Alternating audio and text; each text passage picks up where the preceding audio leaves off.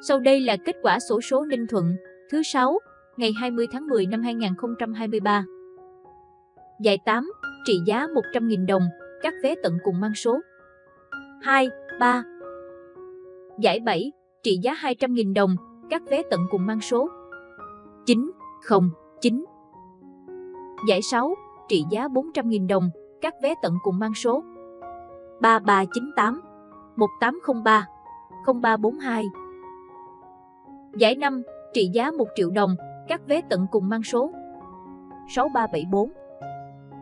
Giải 4, trị giá 3 triệu đồng, các vé tận cùng mang số 47223, 37703, 41888, 58991, 87594, 88027, 79466. Giải 3, trị giá 10 triệu đồng, các vé tận cùng mang số 86814, 80049. Giải nhì, trị giá 15 triệu đồng, các vé tận cùng mang số 12463. Giải nhất, trị giá 30 triệu đồng, các vé tận cùng mang số 56260. Giải đặc biệt, trị giá 2 tỷ đồng, các vé tận cùng mang số 133103.